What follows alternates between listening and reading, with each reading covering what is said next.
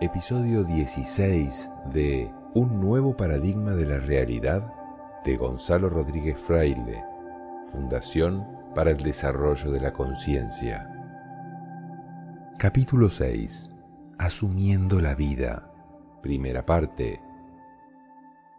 Un tema importante sobre el que reflexionar una vez que se ha comprendido la estructura y el funcionamiento del universo es el de la responsabilidad personal en el crecimiento. En lo que se podría llamar el antiguo paradigma y en la cultura actual está muy extendido el paradigma de la víctima, que es una de las mayores limitaciones que existen para el crecimiento personal. Resulta muy frecuente que los seres humanos se culpen a sí mismos o a los demás de las dificultades que encuentran en la vida pero mientras no sean capaces de asumir totalmente la experiencia de sus propias vidas, será imposible que tengan acceso a altos niveles de satisfacción, paz interior y contacto consciente con las dimensiones superiores. La diferencia que existe entre un maestro y un ignorante es que el maestro asume totalmente su vida y su misión en ella, mientras que el ignorante quiere cambiar el mundo para acomodarlo a sus propias creencias sin cambiar nada en él mismo. Es decir, es incapaz de asumir su vida y sus sentimientos y actúa desde el egoísmo. Es necesario desprenderse profundamente de este vicio de culpar en sus tres profundos niveles, que son tres formas de no asumir. El resentimiento, el individuo culpa de sus problemas a la sociedad, a la civilización, a los gobiernos, etc. El rencor. El individuo culpa a unas personas específicas de lo que le sucede. Y la culpa personal. El individuo se culpa a sí mismo por lo que no ha hecho o por los errores cometidos.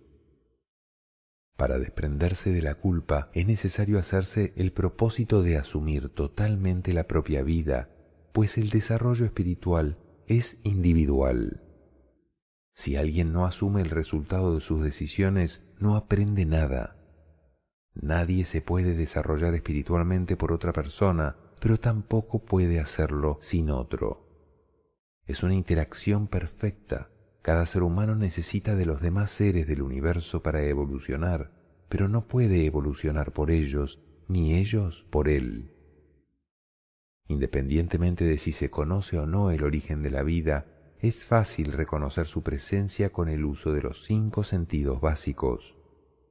El origen de la vida no está sujeto a modificación alguna en función de las diferentes interpretaciones o especulaciones que los seres humanos puedan elaborar al respecto. Antes bien, su presencia es un hecho incontrovertible que es necesario asumir como una realidad dentro de la cual se mueve el ser humano. Siguiendo la imagen bíblica de cómo el absoluto toma barro y sopla, se puede decir que existen dos elementos claramente definidos. La materia, que en este caso era simple arcilla, y la vida que la anima o espíritu. Precisamente la expresión latina ánima o alma se utiliza para referirse a aquello que anima la materia sin ser parte de ella. Al espíritu también se le ha llamado aliento de vida o soplo divino por su relación con la respiración, así como pneuma, término que proviene del griego. En el universo perceptible existen tres elementos de cuya presencia no puede dudarse. La materia, estudiada por la ciencia, el espíritu del cual se ocupa la filosofía y el origen de los dos anteriores que la humanidad ha denominado Dios y de cuyo estudio se ocupa la teología. Así pues, todo cuanto existe en el universo se origina en los diseños de Dios absoluto, independientemente de lo que las personas puedan interpretar, crear o sentir al respecto, de la forma en la que quieran llamarlo o de las características que deseen asignarle. Siempre podrá reconocerse la presencia del Creador por el solo hecho de observar lo creado. Por ello, es evidente que los seres humanos necesitan asumir como una realidad de la vida su relación con la ciencia, la filosofía y la teología, independientemente de los nombres o la forma que se les asigne o de si se cree o no en los postulados que cada una de ellas propone. Para asumir profundamente su relación con la vida, las personas necesitan comprender que la muerte no existe, así como respetar la experiencia de los demás, porque no es la vida lo que hay que respetar, sino la experiencia. Esto es así debido a que la vida es inmortal e indestructible, es decir, eterna. Cuando sobreviene el estado al que se llama muerte, el espíritu y la vida salen del cuerpo físico. Si se pregunta a un científico materialista, ¿qué es la vida? Este probablemente dirá que es arcilla, es decir, materia. Pero mientras se piense eso, no es posible comprender la esencia del absoluto ni la vida.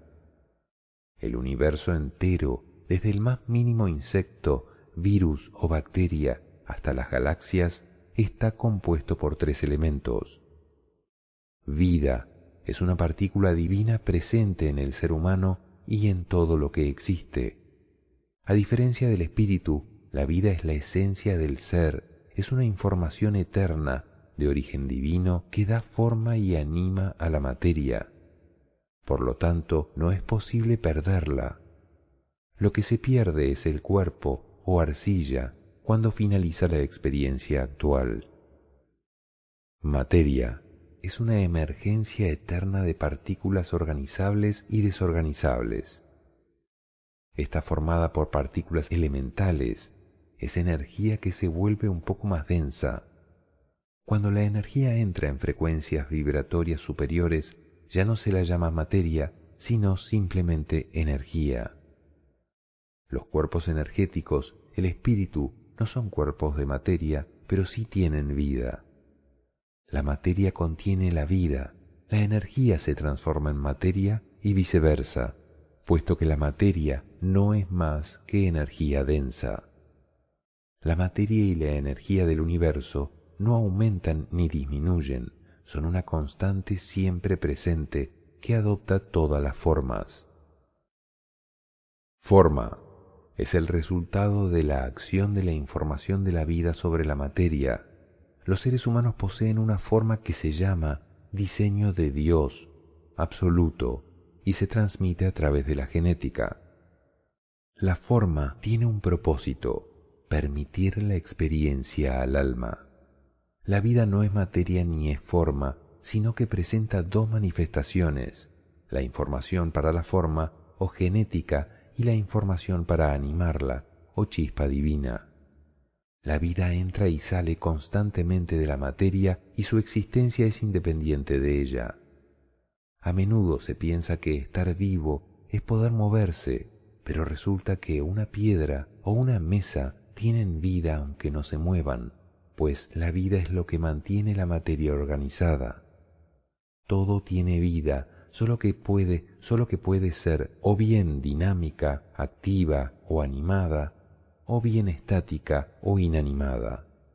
En ausencia de vida, ni siquiera una roca puede tener forma, porque si fuera así, sus moléculas se desorganizarían. Ver entropía, segunda ley de la termodinámica. Habría, por tanto, dos tipos de vida, vida inanimada es la de los cuerpos inertes, no se mueven como estructura, pero en su interior vibran. Y vida animada es la de los seres con capacidad para vivir experiencias dentro de este mundo. Cuando existe experiencia es porque la conciencia está involucrada, ya que es la que permite que la forma se anime y cobre movimiento, es decir, que tenga experiencias. Los animales poseen archivos de conciencia, tienen una experiencia de vida y una evolución espiritual, solo que ésta es no consciente. Incluso los seres humanos no son conscientes de su propia conciencia si no hay una autoobservación. El origen de la vida reside en la dimensión de lo absoluto inmanifestado que contiene la información total del universo y sus manifestaciones y procesos. Es eterno, perfecto, inmortal inalterable. Esa esencia de ser está presente en todo lo que existe en el universo. Se puede comparar con el océano. ¿Cuántas gotas de agua se podrían sacar de él? Incontables. Cada gota de agua es la misma esencia del océano, tanto que si se introduce de nuevo en él, se pierde entre las demás, se fusiona perfectamente con el océano. Se puede extraer otra gota, pero jamás se podría afirmar que sea la misma gota. Esa es la esencia del ser, la esencia de la vida. La esencia del ser está en todo, no hay nada en lo que no esté, y es lo que se llama vida. 6.1 La responsabilidad personal. Dios no evoluciona, lo que evoluciona es la conciencia que no tiene forma humana. En realidad no tiene ninguna forma porque no es humana, animal ni vegetal. Las chispas no tienen ni experiencia ni evolución porque son la vida que otorga la divinidad al ser humano y no son ellas mismas las que experimentan, sino la conciencia. El absoluto es una presencia real y constante, pero no posee ni forma ni figura. Se puede decir que los tres elementos que componen la experiencia humana, como ya se abordó brevemente en el apartado anterior, son materia o cuerpo constituido por información genética y lo estudia la ciencia, mente o personalidad la estudian la filosofía y la psicología, espíritu o conciencia lo estudian la teología y las ciencias de la espiritualidad. La ciencia es un componente fundamental del desarrollo espiritual del ser humano porque estudia el comportamiento de la materia, de la forma y de la energía. Al suponer que la materia es ajena al espíritu, se está cometiendo un error, el mismo que al creer que la filosofía y la ciencia no pueden ir de la mano, o la religión y la teología con la ciencia y la sabiduría. Todos estos elementos conforman el conjunto de materias necesarias para comprender la vida. No se puede apartar ninguna de ellas, pues todas son igualmente importantes.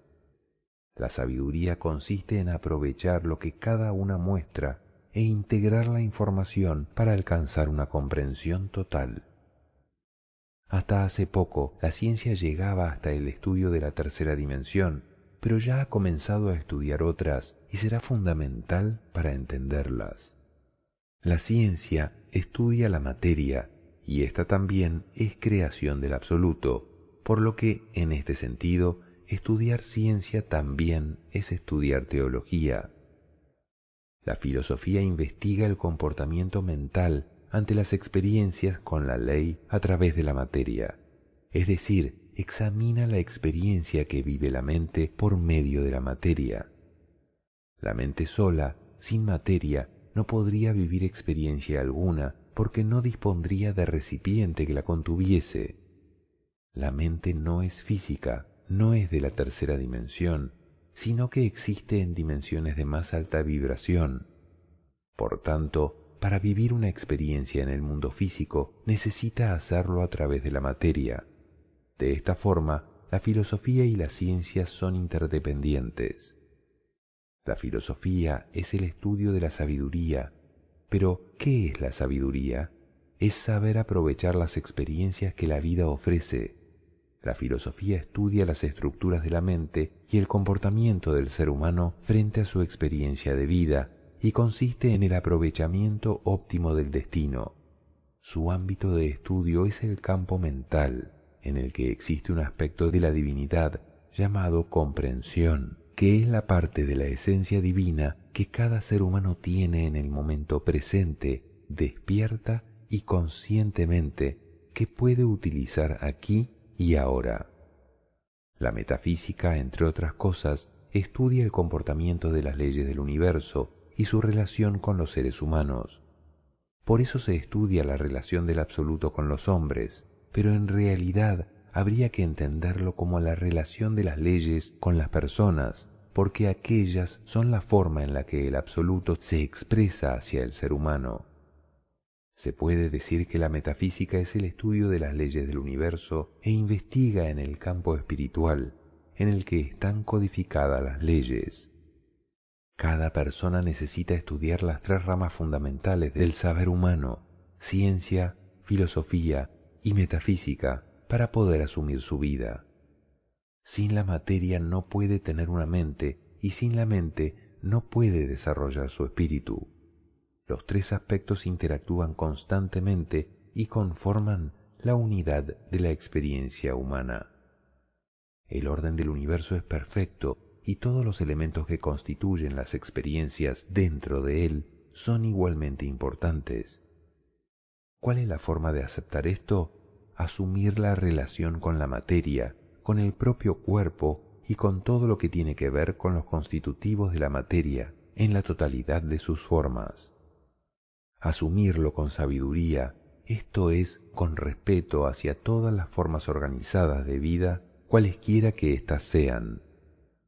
El ser humano también ha de asumir sus cambios internos en el nivel mental, es decir, aplicar la filosofía a sí mismo y preguntarse cómo aprender a vivir de una manera armónica frente al universo, a tomar sus propias decisiones y a dirigir su vida por sí mismo de una manera sabia. La relación de las personas con la teología se desarrolla a través de las preguntas. ¿Cómo trabajar el despertar de la conciencia? ¿Y cómo facilitar que esas facultades superiores se manifiesten en cada uno? Este trabajo espiritual une todos los elementos constitutivos del ser humano frente al universo, por lo que no puede ser ajeno a él y necesita asumirlo como una realidad, una liberación y una satisfacción sin apegarse a lo material. Hay aspectos que son temporales, transitorios, pero eso no significa que no tengan un valor importante, solamente que no es posible llevárselos a otra dimensión. El trabajo de evolución de la conciencia también implica la desaparición de la idea de culpabilidad, puesto que no hay ningún culpable. Nadie puede hacer daño a nadie más allá de uno mismo. Quizás resulte difícil de entender tal cual se expresa. Si bien la desaparición del concepto de culpable puede resultar liberadora, hay que sustituirlo por el de responsable, con sus correspondientes consecuencias naturales y espirituales. La salvación requiere del error y de la trascendencia e integración del mismo. El término salvación se ve amplificado para incluir la salvación colectiva. En la tradición cristiana se ha usado la palabra pecado en lugar de error porque el pecado se entiende como expresión del mal. Pero la dicotomía tan reiterada pecado-castigo ha ido devaluando el concepto. Además, como ya se ha visto, no existe el mal, pero lo cierto es que dentro de la misma tradición hay distintas perspectivas sobre el concepto de pecado, como en Teilhard de Chardin. El pecado, es decir, el mal consciente y libremente querido, el rechazo del amor de Dios, resulta de una estructura cósmica, puesto que es evolución. El pecado, como la responsabilidad, tiene sus grados, y la plena responsabilidad requiere de la plena conciencia. Por otra parte, el pecado presenta un aspecto colectivo. El hombre es solidario no sólo del cosmos, sino también del hombre. Cierto es que las faltas individuales siguen siendo individuales, pero no hieren sólo al individuo, hieren a lo humano, hieren a toda la humanidad. Hay dos aspectos adicionales que las personas tienen que asumir. Asumir que necesitan tomar decisiones equivocadas o acertadas y asumir el resultado de las propias decisiones. Cuando alguien reconoce sus errores sin culpar a nadie, está asumiendo. Si no existe el culpable, tampoco existe el castigo, sino las consecuencias de las decisiones que se toman. Asumir los resultados significa que se aprende de ello sin culpar a nadie y mucho menos a uno mismo, porque es necesario cometer errores para poder aprender. Es uno de los derechos fundamentales del ser humano. 6.2 Destino, misión y función. Como se ha explicado anteriormente, el ser humano está compuesto de energía más información, como todo lo demás que existe en el universo. Haciendo un símil con el almacenamiento de información de un ordenador, se puede decir que la información en el ser humano se encuentra en archivos.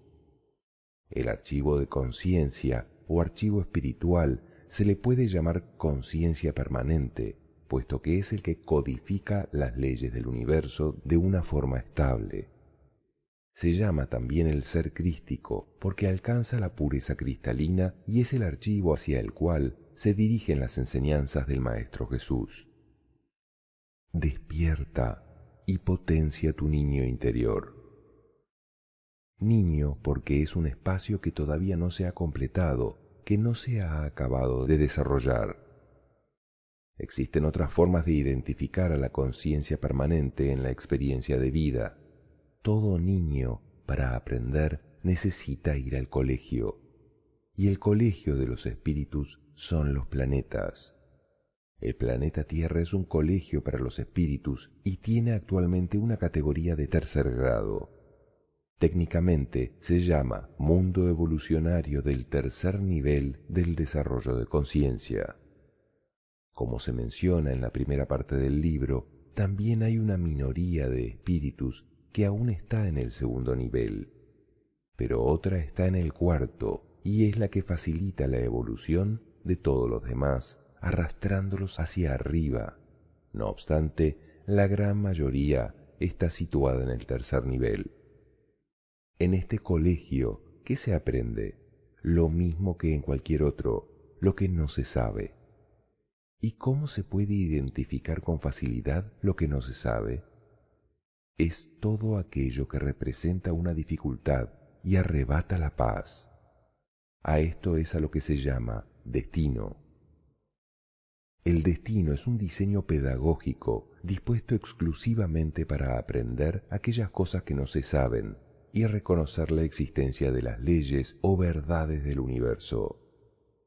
Los conflictos de relaciones los problemas económicos o de salud, las situaciones de ir, de inseguridad vital y todo lo que cause una molestia interior y que sea difícil de manejar, constituye exactamente la presencia del destino.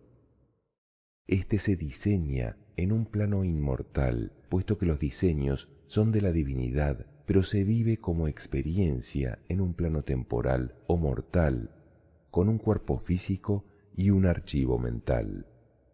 Asumir significa manejar lo que sucede en el interior de cada uno y respetar lo que sucede en el exterior.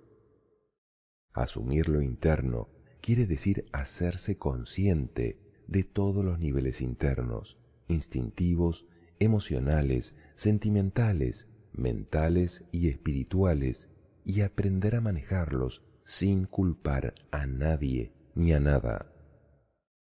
En este sentido, es importante distinguir entre los sentimientos y las emociones. A efectos de este trabajo, diremos que los sentimientos se producen por movimientos del campo mental, sentimentales, y las emociones por movimientos del campo emocional. Las emociones negativas deben ser canalizadas y no reprimidas, ya que se pueden somatizar, ni expresadas porque pueden dañar las relaciones.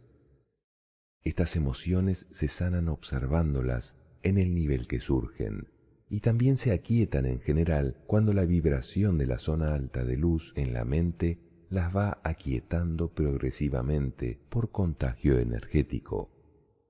Los sentimientos, al ser movimientos del campo mental, se sanan a través del ejercicio del cambio de pensamiento que traerá como subproducto la mejora automática de tales sentimientos. Es pues un ejercicio más rápido sanar los sentimientos, pues basta con cambiar los pensamientos que sanar las emociones. Asumir lo externo significa hacerse consciente de la necesidad de respetar todo lo que sucede alrededor es decir, comprender que todo cuanto existe y sucede es necesario para los procesos del universo. Por tanto, hay que aceptarlo por completo y renunciar definitivamente a interferir con ningún proceso. Para poder asumir, lo primero que se debe respetar es el destino de las demás personas. Todos han venido a la vida a perfeccionar su espíritu, aprendiendo y comprendiendo a través de sus propias experiencias lo que les falta por completar en su conciencia. Un sabio jamás interferirá con las experiencias de destino, por difíciles que éstas sean, para no perjudicar a la persona en su proceso de evolución.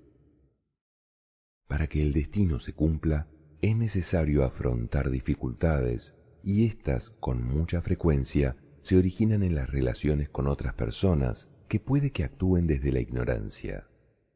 En tal caso, hay que respetar a esas personas sin agredirlas, criticarlas, juzgarlas ni invalidarlas. El destino posee un diseño perfecto. Nadie será sometido a prueba alguna que no sea capaz de superar, y sólo será correspondiente con pruebas más difíciles cuando sea muy terco y no quiera enfrentarse a las pruebas sencillas. Recuérdese que transmutar el destino en misión es el propósito fundamental que ha traído a cada ser humano a la vida, y sólo hay una forma de hacerlo, enfrentándose a él, pues transmutarlo es cambiarlo. Es lo mismo que cambiar la ignorancia por sabiduría o el sufrimiento por paz y armonía. Los sabios tienen la función de dar ejemplo de amor y respeto como una forma de enseñanza y también de proporcionar información para la mejora espiritual de los demás, facilitando la transmutación del destino. Cuando alguien interfiere con el destino de otras personas, se hace correspondiente con la ley de causa y efecto. Es decir, si intenta hacerse cargo del destino de otros, complica el suyo propio porque la ley no permite la interferencia. La misión es la comprensión acumulada en la conciencia y se manifiesta en la personalidad como la vocación o inclinación específica que la persona siente hacia ciertas actividades de las que disfruta profundamente, facilitando que su energía vital ascienda. Cuando no se respeta la misión, puede generarse una frustración y rechazo a la vida y se complica el destino por el descenso de la energía vital. No respetar la misión es un error frecuente de los padres que a veces no aceptan la vocación de sus hijos. La función es lo que la persona hace para ganarse el sustento. Todo ser viviente tiene una función que es independiente de los conceptos morales o de lo que se suele considerar como el bien y el mal. La función posee una correspondencia directa con los niveles internos de ignorancia o de sabiduría. Por esta razón, en muchas ocasiones puede estar asociada con actividades criminales o patologías sociales, así como con actividades normales, técnicas o totalmente humanitarias, porque la función siempre se corresponderá de una manera perfecta con quien la realiza. La función de confrontar y respetar y agredir a los demás para que ellos reconozcan sus propias limitaciones está exclusivamente a cargo de los ignorantes, que son correspondientes con las experiencias de sufrimiento. Cuando una, cuando una persona se encuentra sumida en profundos estados de ignorancia, sus funciones correspondientes se asocian generalmente con la violencia y la muerte. A los niveles medios de ignorancia, donde los sentimientos se involucran fuertemente, les corresponden funciones de agresión, crítica, prohibición, imposición, fanatismo, intransigencia e interferencia con las funciones de los demás, para crear así las relaciones de destino en las que se aprende a través del sufrimiento. Un sabio jamás confrontará ni agredirá a nadie por ninguna razón, puesto que su función y la de las personas espiritualmente desarrolladas es aceptar y respetar a los demás para poder llegar a ellos con ejemplos de armonía, mensajes de amor y nueva información que facilite el cambio interno. La función de las personas con un mayor desarrollo espiritual está generalmente asociada con la enseñanza, los ejemplos de armonía, la flexibilidad, la adaptación al medio, la transmisión de información para la mejora humana y la construcción de nuevas formas de convivencia pacífica sustentadas en el desarrollo de la paz interior. Así pues, respetar la función de todos los seres vivientes es el principio universal de la sabiduría. La propuesta que aquí se realiza desde el respeto profundo es la de deponer tres armas que el ser humano posee. La agresión física, aunque sea solo con gestos. La agresión verbal, cualquier palabra hostil. Y la agresión mental, cualquier pensamiento violento. Un maestro no tiene conflictos con nadie, independientemente de los niveles de evolución que estas personas posean, porque las respeta y las maneja con sabiduría, mientras que una persona con poca sabiduría sostiene múltiples conflictos con otras personas. El sabio calla cuando debe callar y habla cuando debe hablar. Todo en el universo tiene un propósito perfecto de amor, independientemente de que guste o no. Si no se comprende esto, se pierde la herramienta del respeto. Es muy difícil respetar algo cuando se piensa que está mal. Cuando alguien se declara en total y absoluto estado de paz, se hace correspondiente con ser respetado total y absolutamente por todos los demás seres del universo. Este resultado se puede verificar a medida que se avanza en la vida. 6.3. La cultura. La cultura es el conjunto de principios, costumbres y tradiciones ancestrales de un pueblo. Si bien es cierto que imponer los principios culturales limita la posibilidad del cambio de las estructuras mentales hacia nuevas experiencias de evolución, así como el desarrollo de civilizaciones de grado superior, no es menos cierto que estas experiencias limitantes son necesarias para que las personas desarrollen la comprensión y la fuerza interior para zafarse de las cadenas de la cultura.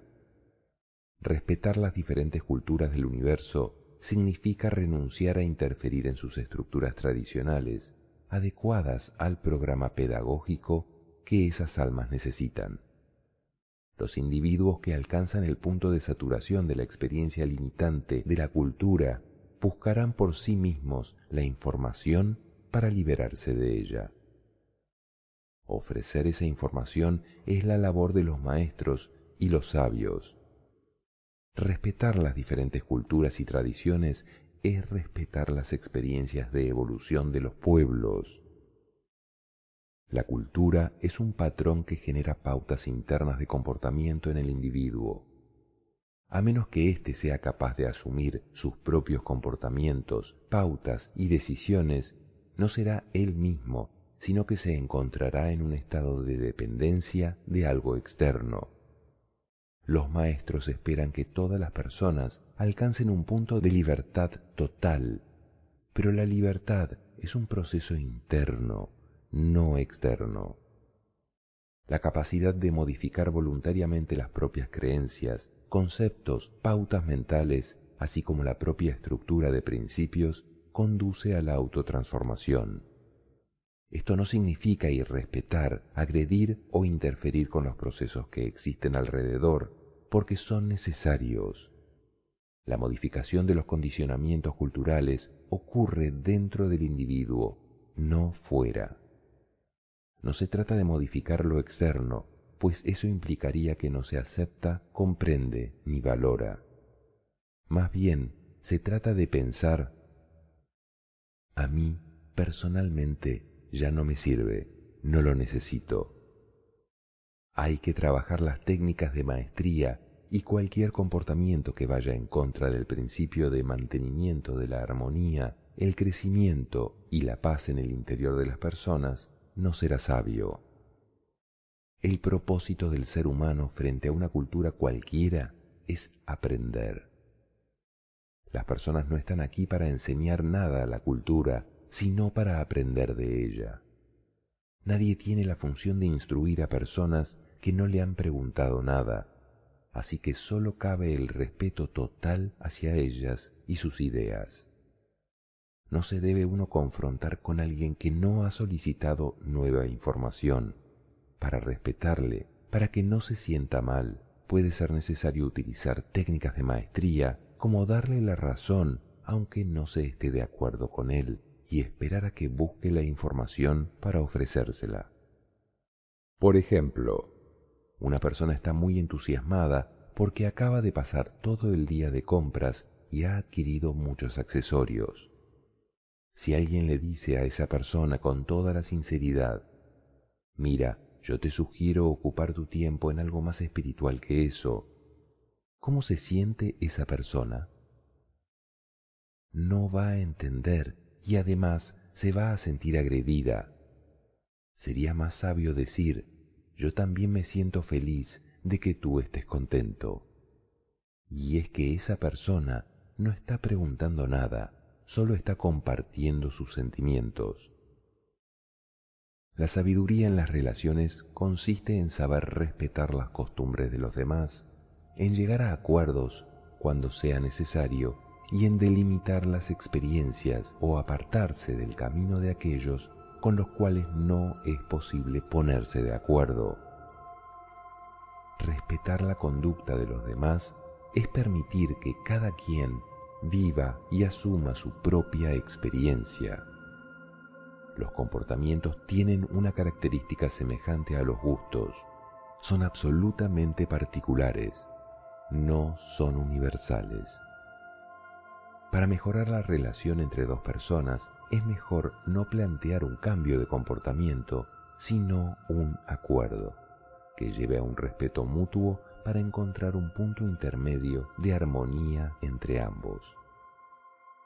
Si no hay acuerdo, entonces es necesario aceptar y adaptarse, o bien delimitar cuando se pueda si hay incompatibilidad. En algunos casos, delimitar solo pospone la experiencia.